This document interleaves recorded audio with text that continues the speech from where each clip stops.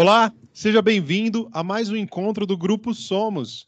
A gente sempre na abertura fala para você que é uma iniciativa da diretoria de operações das três gerências, onde a gente se propõe a falar de liderança, autoconhecimento, é, vulnerabilidade e relacionamento.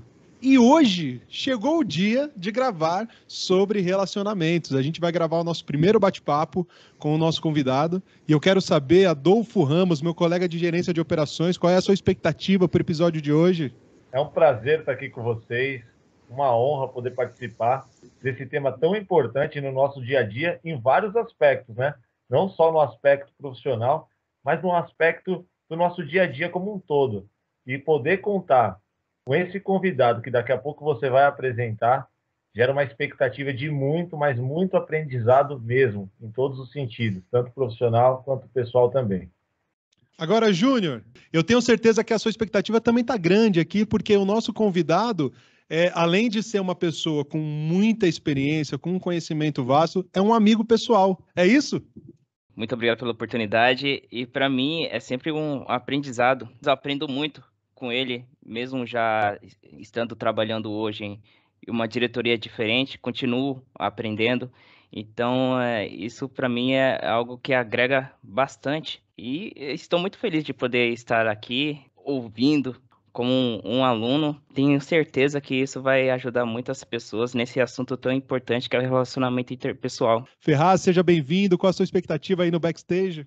A minha expectativa é muito boa, porque acompanhei não vou dizer de perto, não, não teve como ser de perto, nossos caminhos não se cruzaram o quanto hoje, conhecendo a trajetória do Milton, o quanto eu gostaria que porventura pudessem estar mais próximos. Mas de tudo que eu soube, da carreira dele, da trajetória dele aqui, minha expectativa é muito grande que a gente vai sair com um episódio aqui com uma carga muito boa de conhecimento, de exemplos a ser seguidos, de boas práticas, enfim, muito conhecimento pela frente. Ah, que bom, né? Que bom. E aí, a gente tem então o, a, a, grande oportunidade, como a gente fala, o Somos é pertence a uma iniciativa do Milton, da diretoria de operações, e para poder existir como grupo de trabalho, ele tem um importante patrocínio dos líderes das três gerências. Então, nós já tivemos aqui um episódio com o Antônio Márcio falando sobre mudanças. Nós tivemos na nossa primeira live sobre os desafios emocionais e de gestão na pandemia da Covid-19. Quem fez a abertura foi o Ricardo, da gerência de manutenções, e hoje é com muita alegria né, que nós recebemos para esse bate-papo Milton Júnior, da Gerência de Suporte Operacional da GSO. Ele que tem 12 anos de companhia e começa como técnico da equipe de outro integrante do Somos, que a gente descobriu aqui hoje na nossa conversa de pré-gravação, do Antônio Teodósio, técnico na GMT, depois ele recebe o desafio e é promovido a supervisor do CSA, uma nova promoção e aí como coordenador ele assume o CSA, coordenadoria do CSA, coordenador do CNT. O Antônio Márcio, na época, GMT o convida e ele passa a ser assessor técnico do Antônio Márcio e recebe o grande desafio, na época, a gerência de logística, a GLG. Ele assume como gerente, que hoje é a GSO. Ele é casado com a Jennifer, pai do Henrique, da Isabela, do Arthur e da Giovana. Ô Milton, eu conheci você através das pessoas que trabalharam com você. A forma como eu cheguei até você foi essa, e eles não chamam você de Milton, né? Eles têm uma outra forma de chamar você, e eu vou ter essa liberdade, principalmente depois que eu descobri a história que isso tem para você, o significado familiar que tem para você. Então eu vou tomar essa liberdade. Seja bem-vindo ao nosso bate-papo, Miltinho. É um prazer ter você aqui conosco. Bom, pessoal, boa tarde a todos aí. Primeiro, é, quero agradecer a todo o Grupo Somos aí por esse convite. Acho que desde a primeira conversa, quando o Juninho mencionou a possibilidade, chamo ele de Juninho, porque de fato já trabalhamos juntos e hoje, mais que um colega de trabalho, é um amigo é, mencionou da possibilidade de estar aqui, né? Eu fiquei realmente muito, muito feliz, muito honrado, como você falou. Acho que grandes é, pessoas e profissionais da companhia já passaram aqui pelo Grupo Somos com vocês, cada um trazendo a sua mensagem no seu tempo. E estar aqui sucedendo Antônio Márcio, Ricardo, poxa, é um baita desafio aqui hoje e fico honrado de estar aqui com vocês, agradeço. Em relação ao nome, é, é assim, né, Gilson? Como é que surgiu essa história? Primeiro, quando eu fui para o CNT lá em 2016, né, o Milton, que é o nosso atual diretor de operações, ele era o gerente de manutenção na época, e aí ficava sempre aquela discussão: puxa, o Milton pediu para fazer tal coisa. Então, assim, qualquer coisa que eu pedisse era atendida, porque o Milton pediu. Né? Então eu falei, bom, é melhor eu corrigir isso aqui, porque de repente eu vou falar alguma bobagem aqui, vou interpretar que é o Milton gerente, vai dar ruim para mim, né? E aí foi quando eu resgatei a questão familiar que você mencionou, que para mim realmente tem uma, um simbolismo muito importante, porque quando criança, meu pai tinha é, uma empresa, trabalhava os finais de semana, correndo várias obras aí pelo estado de São Paulo, e a gente acabava não tendo muita convivência com ele. Então, a única oportunidade que nós tínhamos, às vezes, ele levava a gente, eu e meu irmão mais velho, para a obra junto, né? E aí eu me lembro por várias vezes de algumas obras com ele, e aí chegar na obra lá e todo mundo, poxa, Miltinho, Miltinho, porque meu pai tem 1,60m e também chama Milton. Então, eu ficava olhando aquilo e depois, quando eu comecei a trabalhar, eu ficava pensando, poxa, um dia eu queria literalmente ser igual ao meu pai, né? Que aonde ele ia, ele era reconhecido, as pessoas tinham um carinho por ele, chamavam ele de Miltinho. Então, me trouxe essa lembrança familiar naquele momento em 2016, e algumas pessoas ficavam um tanto reticentes, falavam, poxa, vou chamar o coordenador do CNT de Miltinho, né? Poxa, que intimidade. Eu falava, não, fiquem tranquilos que isso é, é um orgulho para mim, porque realmente remonta a essa experiência que eu tenho desde a minha infância em relação ao meu pai, de trajetória, e hoje observar que, poxa, de certa forma, é, no meu tempo, com, com as minhas condições ainda que seja, hoje o Miltinho passa a ser eu aqui dentro do metrô. Então eu fico feliz pela memória que traz em relação ao meu pai, né? A gente fica até emocionado quando um valor tão importante está associado a algo e você consegue compartilhar. Obrigado por compartilhar isso conosco e com quem está assistindo essa gravação agora. E você que está nos assistindo, eu tenho certeza, até para te contextualizar aqui, que você já assistiu aquele filme Tempos Modernos do Chaplin. Se você não assistiu, você já deve ter visto a clássica cena daquele operário representado por ele, apertando parafusos incansavelmente até entrar, literalmente, nas engrenagens de uma máquina. A cena é hilária, mas ilustra muito bem as relações de trabalho ali dos idos de 1930, quando surge o termo funcionário. Se a gente parar para pensar, funcionário é simplesmente uma pessoa que funciona, que aperta parafusos. E é um período que, de fato, ali retratado no filme, que não havia tempo para relacionamentos. As pessoas tinham que funcionar por 12, 14, 16 horas por dia. O tempo passou e a evolução ela é visível. Tanto é que o filme do Chaplin que a gente citou aqui, ele é em preto e branco e cinema mudo. Mas e as relações de trabalho? Que bom que elas mudaram também. Hoje não há mais lugar para empresas e líderes que consideram seus funcionários como pessoas que simplesmente funcionam. E os líderes, assim como o nosso convidado, como o Miltinho, os líderes desse novo tempo, eles entendem que muito além das atividades, metas, prazos e resultados que são importantes, existem os relacionamentos. E é por isso que a gente convidou você, Miltinho. E eu quero começar aqui com uma pergunta-chave para abrir o, nosso bate-papo. Na sua opinião, Miltinho, é possível, numa empresa, funcionar sem se relacionar? Na verdade, acho que tomando a introdução que você fez aqui, citando a Chaplin em tempos modernos, Gilson, eu acredito muito antes da, da, da questão do relacionamento, de que, como aprendi um grande mestre dentro do metrô chamado José Kenshit, a importância do propósito. Né? Então, é, quando a gente fala simplesmente na expressão funcionário, do apertar o parafuso, o quão é importante para todos nós, para cada colaborador que integra essa empresa tão importante, que tem uma missão extremamente nobre, assim eu enxergo metrô de São Paulo, atendendo a população aí e não só transportando pessoas, né? A gente faz parte da vida, a gente integra a vida, o cotidiano uh, de toda a população de São Paulo, no momento em, na, ou na medida em que uh, se deslocam para um trabalho, para um compromisso familiar, para o hospital, por aí vai. Então, eu, eu, acredito muito que quando a gente começa a deixar isso claro, que cada tijolinho, cada um de nós coloca, ele faz parte de algo maior, acho que facilita muito, não só as relações, mas principalmente que as pessoas se sintam de alguma forma reconhecidas e inseridas no todo, no propósito da empresa. Né? Então, uh, acredito que o relacionamento é, é fundamental. E olhando o nosso contexto metroviário, uma empresa que tem aí mais de 40 anos de operação, sem dúvida, é, é um grande desafio, acho que para todos nós que somos gestores, é, como a gente faz para, de alguma forma, lidar, conciliar cada um dos conflitos que norteiam as relações. Tem colaboradores com 40 anos de metrô, 30, 20, 10 anos, gerações, culturas diferentes, cada um a seu tempo, com as suas visões, com os seus valores.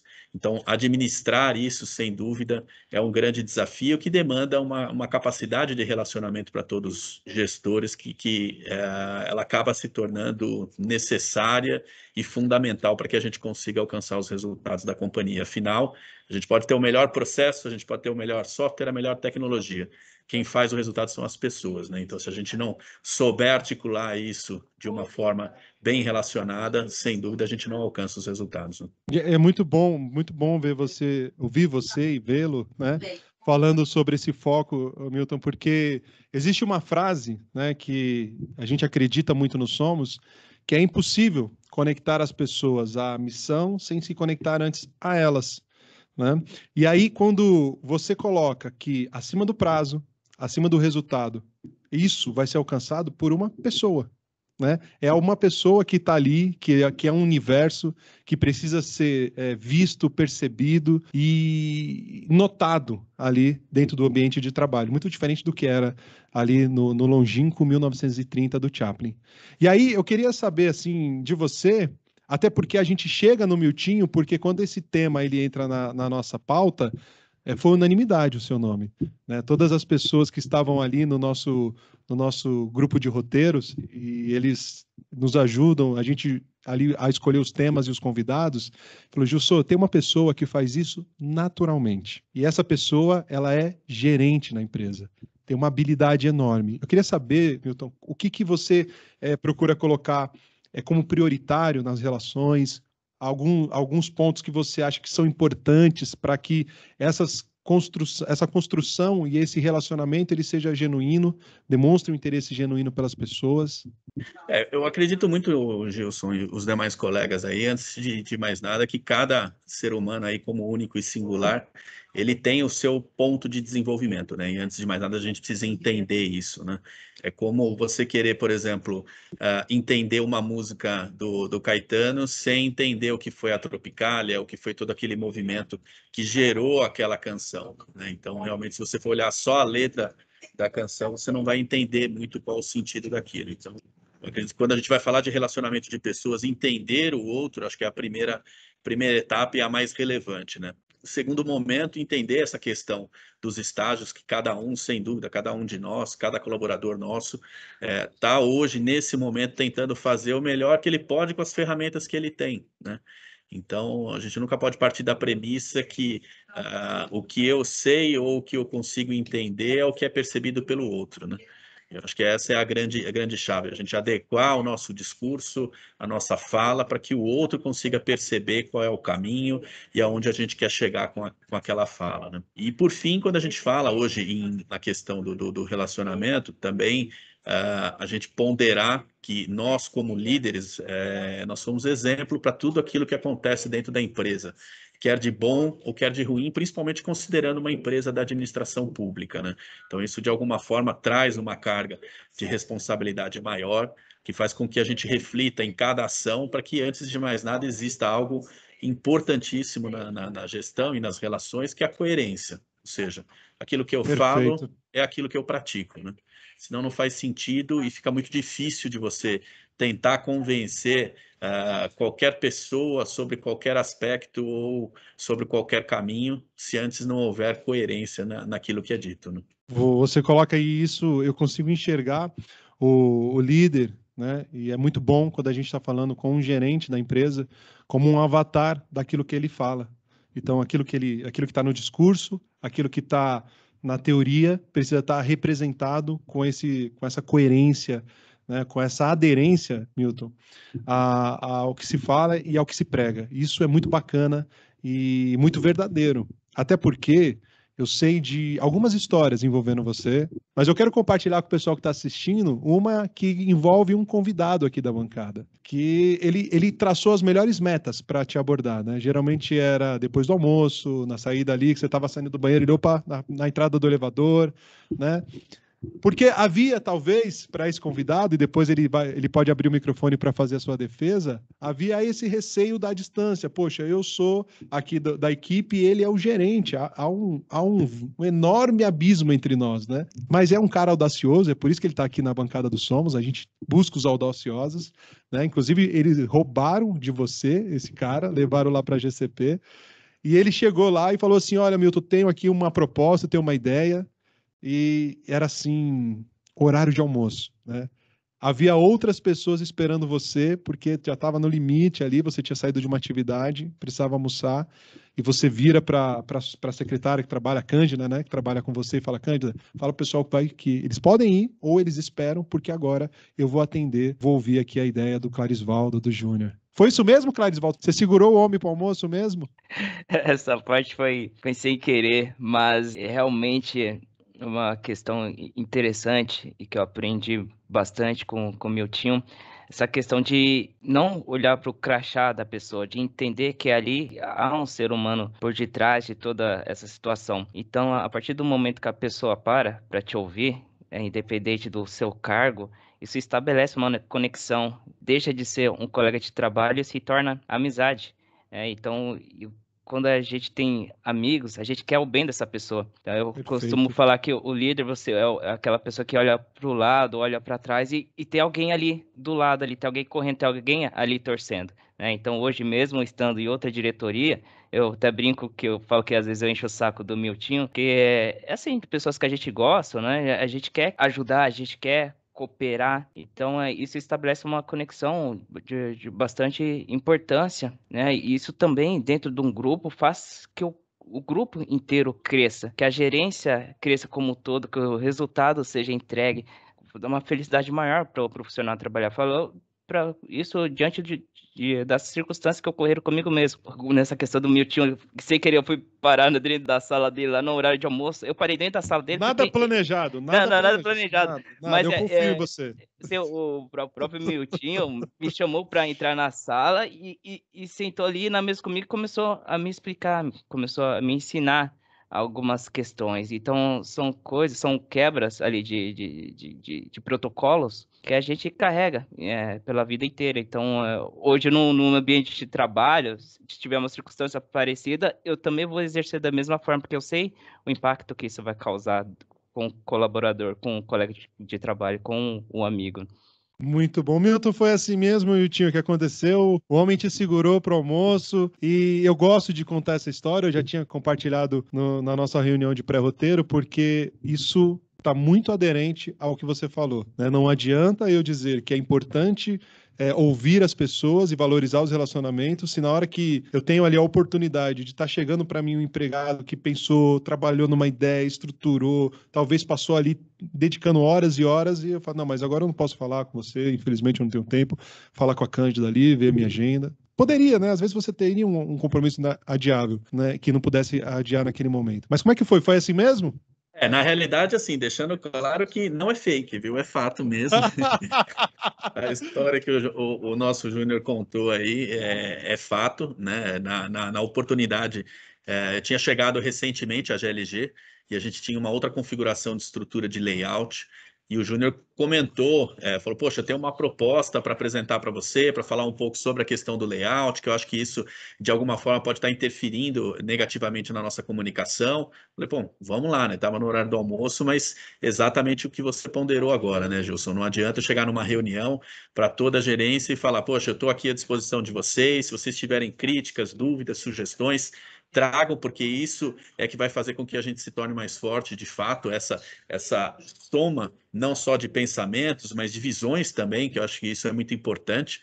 E, de repente, no dia a dia, quando um colaborador me procura, eu falo assim, poxa, não posso, dar uma olhada na minha agenda, marca um horário, né? Realmente, aí eu não, não me tornaria um, um, gestor coerente e certamente teria perdido aí a oportunidade de, de, de ter aprendido com o Júnior. Ele disse que eu ensinei, não, não ensinei nada para ele naquele dia, muito pelo contrário, né?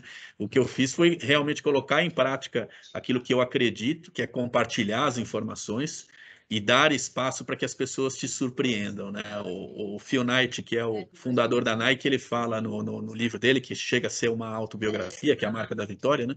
Ele fala, bom, confie nas pessoas e deixa que elas te surpreendam, né? E eu acredito muito nisso, né? Então, o Júnior, naquele dia, ele me surpreendeu, porque ele apresentou ali toda uma estruturação de um projeto, E naquele primeiro momento eu já olhei e falei, poxa, realmente isso faz todo sentido. Vamos dar uma avaliada e depois eu te dou um retorno. Mas na sequência a gente conversou já com os parceiros aí do metrô, com o Paulo Baffini lá da, da, da GRI, apresentamos essa proposta de ter um modelo aberto, porque até então, até, até aquele momento, algumas gerências da DA, como a própria GRI, já tinham um modelo aberto, mas ainda numa configuração mais limitada, o gerente ficava junto com departamentos, por exemplo, e assessores, não ficava com a equipe toda, né?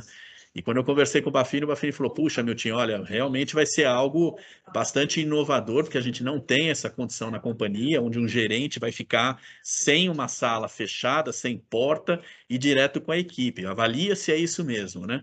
E num primeiro momento, evidente, né? Uma baita quebra de paradigma. Muitas pessoas, quando eu começava a conversar sobre a proposta, falar sobre o que nós gostaríamos de fazer, eh, elas não, não compreendiam bem, não faziam uma boa leitura, mas quando a gente fez toda essa mudança, acreditando mais uma vez no propósito, né? E qual era o propósito? Era aproximar as pessoas, facilitar realmente a comunicação, a integração entre as pessoas. E aí, quando a gente foi conversar um pouco com as supervisões para avaliar o assunto, gente descobriu que tinha um caso, por exemplo, um supervisor nosso que ele falava assim: Poxa, Milton, faz todo sentido esse projeto pelo seguinte aspecto: às vezes eu tenho que tratar alguma coisa com, com o supervisor, está na mesa do lado, mas tem uma divisória, eu ligo para ele. Eu não vou até ele e falo olho no olho. Eu ligo para ele, ele está aqui do meu lado, mas tem uma divisória no meio. Né? E hoje quando a gente olha o, o layout aberto, você percebe na prática essa questão da integração, da facilidade de comunicação. Todas as pessoas da, da equipe que sabem disso, o Júnior trabalhou conosco já nessa configuração. Isso acontece sempre. O pessoal entra aqui e fala: pô, chefe, tem cinco minutos. Evidente, se eu tiver numa reunião,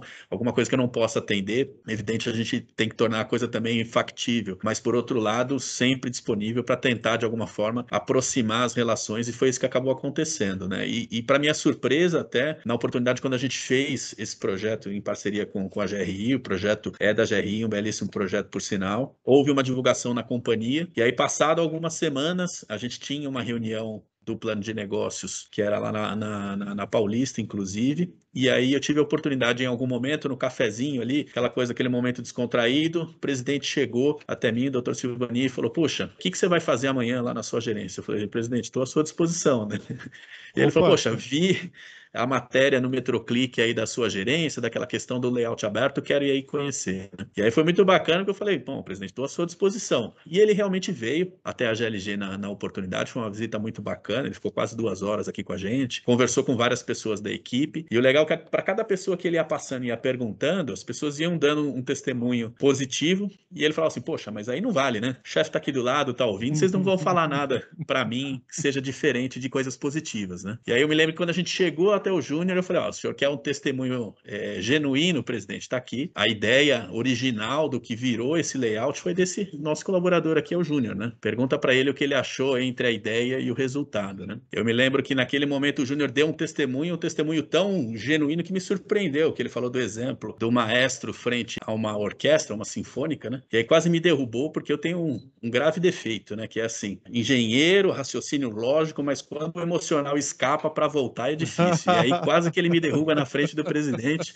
A lágrima escorreu no cantinho aqui, eu tentei dar uma respirada fundo, porque realmente ia ser difícil de voltar, mas fiquei muito feliz com o resultado depois na sequência. Quanto insight, quanta inspiração. E você que é líder, Agora eu estou falando com você, você que está assistindo a gravação desse episódio. Esse episódio é para você, é para que você consiga perceber e sentir a importância aonde pode chegar quando você consegue abrir para os relacionamentos, para interagir com interesse genuíno. Tem um cara que falava isso aqui no metrô e a gente já, jamais vai esquecer dele. Interesse genuíno nas pessoas. Tem um cara aqui na, na nossa bancada, Miltinho, assim como você, ele é um líder dos novos tempos, é um cara que me ensinou muito né, na, na, na liderança. Vocês compartilham, até talvez sem nunca ter de fato trabalhado junto na mesma equipe, de valores muito semelhantes. E aí eu quero dar a palavra para você, Adolfo Ramos. Ô, meu irmão, obrigado pela oportunidade. É... Não tem como não começar dizendo sobre a motivação que a gente sente de ouvir cada palavra, cada relato aqui do Miltinho. É realmente uma inspiração a gente sabe, Miltinho, que é da natureza do ser humano se relacionar, e quanto melhores e mais positivas forem essas relações, maiores são as chances de construirmos conexões verdadeiras. Assim como você construiu o nosso Juninho, mas para isso elementos são fundamentais, e você já, você já nos disse várias ferramentas aqui de gestão, né? Como empatia, é, respeito, conhecer o próximo. Relacionamento interpessoal é se conhecer, né? Interpessoal, conhecer o próximo. em algum momento, todos nós aqui que estamos te ouvindo e te vendo, somos líderes e poder contar com essa ferramenta nos ajuda nos desafios que a gente enfrenta é, no decorrer das nossas atividades. E eu gostaria de saber como você se prepara para esses desafios, Miltinho. Como que, dentro desse relacionamento interpessoal, como que você se prepara diante das suas emoções, o que você sente quando você percebe que uma ferramenta ela foi bem utilizada? E o que você sente quando você pode usar uma outra ferramenta, como você se prepara principalmente para esses momentos desafiadores, como que nós estamos vivendo onde o relacionamento está de uma forma diferente por conta desse momento da pandemia, né? Como você se prepara, como você se sente? Ofo, obrigado aí mais uma vez pelas palavras, pelo, pelo carinho. Para mim, sem dúvida, é um prazer estar aqui falando contigo hoje. Já conheço o Adolfo de, de, alguma estrada, de toda a história, de toda a trajetória do Adolfo, uma trajetória belíssima dentro da companhia. Fico muito feliz com as palavras, Adolfo. Obrigado. Em relação à preparação, você tocou num ponto que, que eu entendo que é muito importante, que é assim, Adolfo, eu brinco que depois de três casamentos e algumas terapias, né, a gente começa a se conhecer um pouquinho mais, né? E aí eu brinco com, com os que trabalham comigo aqui na, na gestão, que eu falo que todo gestor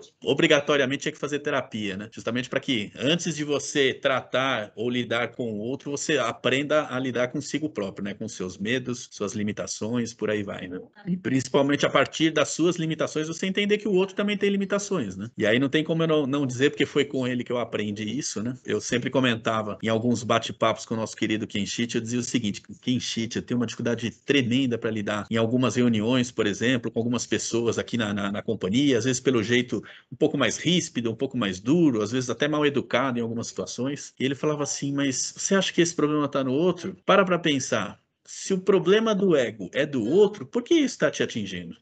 E eu falava assim: Poxa, fez todo sentido o que ele me falou.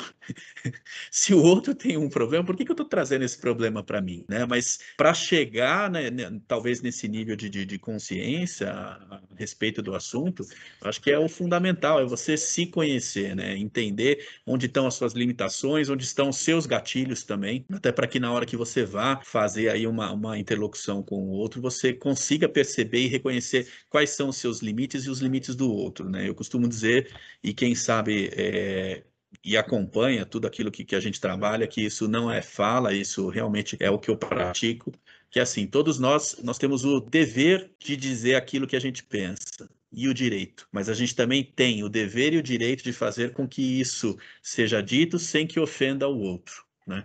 Então, isso é uma coisa que eu tento buscar como ferramenta todos os dias, porque, assim, quando a gente fala em relações uh, entre pessoas, evidentemente o conflito muitas vezes é inevitável, justamente pelo ponto de desenvolvimento, culturas, valores que são distintos, e talvez a melhor forma de você administrar isso, antes de mais nada, é com respeito, né? Muito bom, muito bom. A gente fica falando assim do, do Kenshit como se ele estivesse presente, né? Eu sinto que ele está presente de alguma forma aqui conosco é, hoje. O Kenshit sempre está. é, mas, mas é, é muito bom. Pode falar, Clarisvaldo.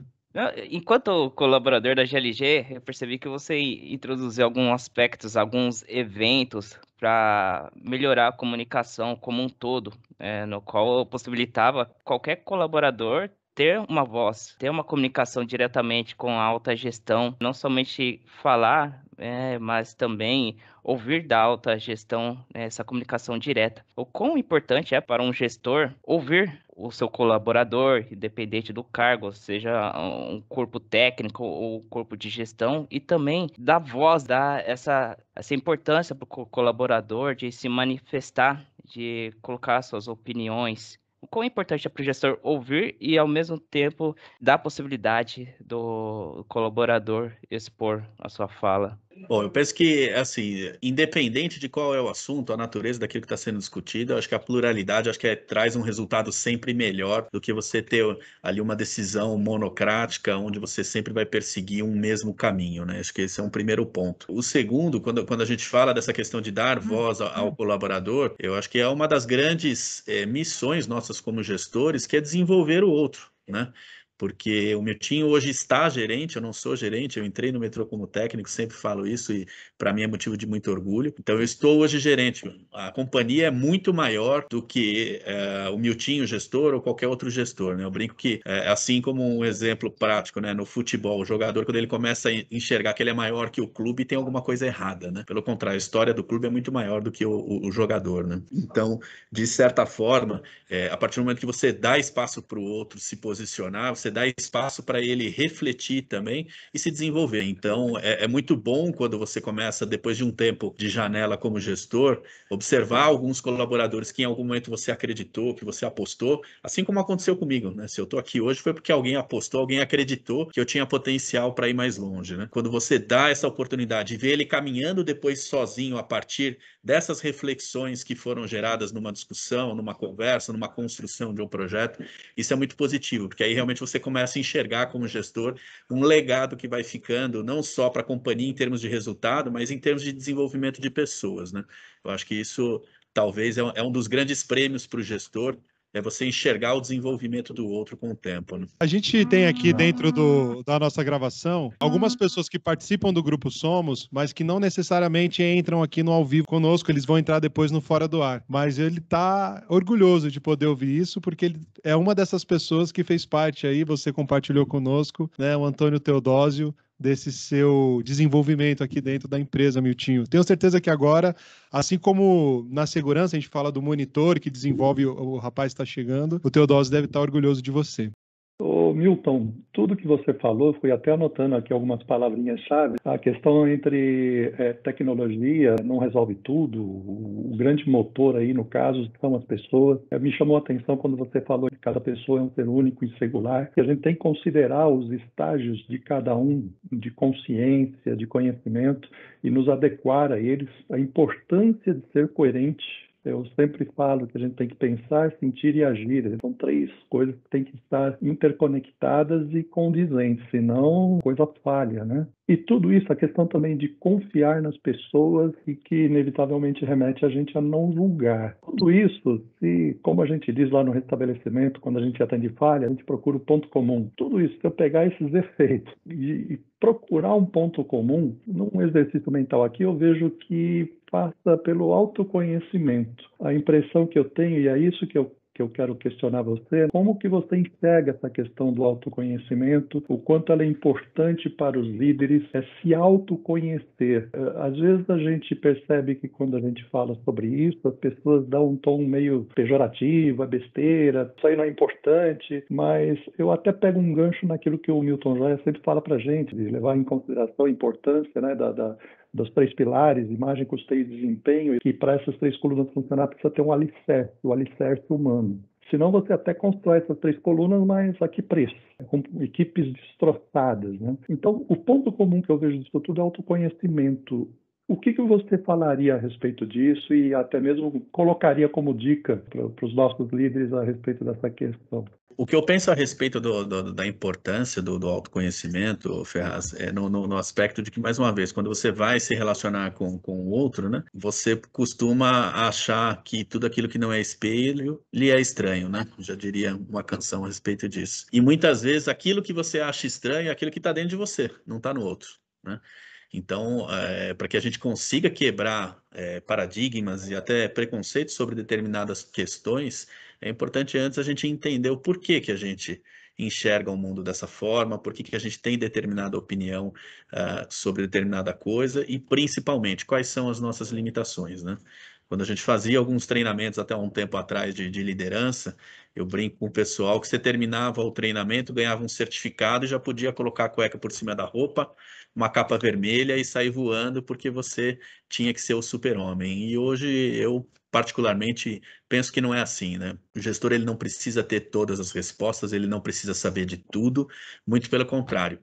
Ele precisa usar muitas vezes de uma forma muito positiva a sua equipe para encontrar os caminhos, encontrar as respostas, né? E para que ele possa alcançar mais uma vez o outro de uma forma verdadeira, genuína, em muitos momentos ele precisa reconhecer que ele tem limitações, né? E até em alguns momentos, quando acontece uma coisa chamada erro, que para alguns gestores parece que isso é alguma coisa muito distante, porque o outro erra, o outro comete erros, mas eu não, eu nunca erro. Muito pelo contrário, né? acho que a partir do momento que você entende essa sua limitação e que esse erro faz parte de um processo de crescimento, de amadurecimento, e você reconhece isso frente à sua equipe, sem dúvida você cria uma conexão muito mais próxima é, daquilo que vai além do crachá, que vai além da relação de subordinação, estabelece realmente uma conexão entre indivíduos, né? Eu acho isso fundamental para que gere o que você ponderou muito bem, a confiança, né? Acho que é o pilar de tudo, de qualquer relação humana, está o respeito e a confiança. E para que isso seja alcançado, sem dúvida, a gente precisa de algum momento é, abrir aquilo que a gente tem de vulnerável para o outro também, de mostrar que a gente tem as nossas dificuldades, as nossas limitações. É assim que eu penso, Ferraz. Que aula! Você não vai acreditar, meu, para não cair da cadeira aí. A gente já está quase 40 minutos nessa, nesse bate-papo. Passou voando, voando, voando, voando esse nosso bate-papo. Mas eu não posso deixar a gente terminar essa gravação sem uma palavra final sua para inspirar os nossos líderes, todos aqueles que estão acompanhando, desde aquele líder que é um supervisor de equipe, um supervisor de oficina, um supervisor administrativo, um supervisor de segurança, como é o meu caso do Adolfo, ou de manutenção, como é o caso do Ferraz, que talvez ele tenha um negócio chamado medo de gente e por isso ele não se relaciona, porque nesse relacionamento pode vir um negativo e aí já para evitar o negativo eu nem, nem arrisco. Vai que o, o, o Clarisvaldo naquele dia fosse trazer uma demanda é, difícil demais, que fosse te que fosse te preocupar. Então, muitas vezes é melhor subir as paredes, fechar as portas, para nem ter que lidar só com aquilo que eu seletivamente escolho. Quando eu vejo você falando, eu vejo um cara que ele pode até ter medo. E é importante, você pode ter medo de um monte de coisa. É, medo da morte, de acontecer alguma coisa com a família. São alguns medos que a gente pode ter. Mas um medo que eu sei que você não tem, você não tem medo de gente. E é muito importante para todo líder se, se desapegar, deixar esse medo de gente para lá, se abrir para os relacionamentos. Eu queria uma palavra final sua para esse supervisor que está ouvindo você, uma palavra para esse cara poder se libertar de vez desse medo e, e, de fato se relacionar com a sua equipe, com, seu, com a sua equipe de gerentes, com a sua equipe de coordenadores, de supervisores, ou mesmo a sua equipe de campo. Bom, Gilson, quando, quando você traz a, a, palavra medo, a conversa me lembra de, de uma apresentação que eu assisti há anos atrás aí na reunião de desempenho da gerência de manutenção. Né? na época o Milton, nosso diretor, era o gerente. Acho que era mais próximo do final do ano, foi quando ele trouxe Mário Sérgio Cortella para brilhantar a reunião naquele momento, não sei se o Ferraz estava presente, e o Cortella ele falou uma coisa muito importante sobre medo, né? E aí ele dizia o seguinte: é, o que, que é medo, né? Você colocar a sua cabeça dentro da boca de um leão, isso não é coragem, isso é loucura. Porque você vai colocar sua cabeça lá e você vai morrer, né? Verdade. O que, que significa coragem? Seguir significa você continuar caminhando ainda que com medo. Essa é a grande diferença, né? Você pode sentir medo como gestor, você é um ser humano, você tem limitações como qualquer outro, você vai sentir medo em várias situações, nas relações, numa apresentação para o diretor, para o presidente ou para sua própria equipe, você vai sentir isso. Aonde é que está a grande diferença? É você aprender a controlar esse seu medo de tal forma que, ainda que com medo, você continue caminhando, né? E quando a gente fala em pessoas, evidentemente, o gestor ele tem um papel fundamental. Né, numa pesquisa recente aí, com grandes empresas multinacionais, traz um resultado bastante importante que acho que serve para reflexão de todos nós gestores. Né? Hoje, a principal motivação de uma pessoa permanecer ou deixar uma empresa, segundo essa pesquisa divulgada o ano passado, é o chefe. E como a gente costumava, vou fechar, comecei falando aqui da CPTM, da, da, experiência que eu tive lá, gostaria de fechar com esse exemplo, né? Que a gente dizia lá que na ferrovia, e isso vale para o nosso metrô, né? Quem faz mal para as pessoas não é o metrô, não é o trem, são as próprias pessoas. Então, acho que é isso que a gente tem que ter como reflexão como gestores, do quanto, antes de mais nada, que a gente precisa cuidar das pessoas que trabalham conosco, porque, sem dúvida, a motivação principal delas estarem ou deixarem o metrô está na forma como elas são geridas, de alguma forma. Muito bom. Sensacional, Milton. E é com essa fala final, é com essa declaração de coragem que o Milton compartilha conosco, que a gente está encerrando esse episódio. Respira fundo, o que você falou é muito profundo, mas eu tenho certeza que pode fazer muito a diferença na sua vida. O Somos, ele existe para fazer a diferença na vida de cada metroviário que nos acompanha, que assiste os nossos programas, que acompanha os nossos trabalhos. Eu só tenho que te agradecer, Miltinho. Obrigado. Obrigado mesmo. Existe uma música que te toca de, de uma forma especial, que é Boys Don't Cry, Né? Eu, eu assisti a entrevista inteira do Senna por causa de você essa semana, né? E vi a parte da, da que ele vê ali as suas vitórias e, e ao som de Boys Don't Cry ele chora, né? E em alguns momentos você deixou para a gente aqui muito da emoção da, da sua vivência, daquilo que você acredita, e isso é que deixa ainda mais autêntico esse momento nosso aqui. Muito obrigado. Eu sou em nome de, de todo o Grupo Somos, agradeço aí mais uma vez o convite, muito especial, foi muito bom ter passado esse momento com vocês. Espero que de alguma forma tudo aquilo que foi dito aqui possa ajudar outras pessoas de alguma forma, ficaria muito feliz. E encerro dizendo que escolhi a música porque, assim como falei da questão do Miltinho, meu pai, ela me remonta àqueles domingos deitado, vendo as vitórias do Senna e ouvindo o Senna muitas vezes. Sem dúvida, para mim, é uma grande fonte de inspiração. Essa é, entrevista no Roda Viva, onde toca essa música, ela é fenomenal, fantástica. Então, me remonta não só a uma grande fonte de inspiração, que é o Ayrton Senna, acho que para todos nós brasileiros, mas também a minha experiência com meu pai ali assistindo as vitórias do Senna. Muito obrigado a todos pelo carinho, um grande abraço a todos. Obrigado, gente. Ferraz, Adolfo, Clarisvaldo, muito obrigado, Vitinho. E se você quiser mandar sugestão, comentários, sugestão de pauta, de convidado, você pode acessar, mandar um no e-mail para nós aqui, no endereço está aparecendo, o Ferraz está colocando aqui. Não sei nunca onde você vai colocar, Ferraz. Então tem que apontar para todos os lados. Né? Ele está colocando em algum lugar aqui na tela. É, foi muito bom ter vocês conosco e até a próxima.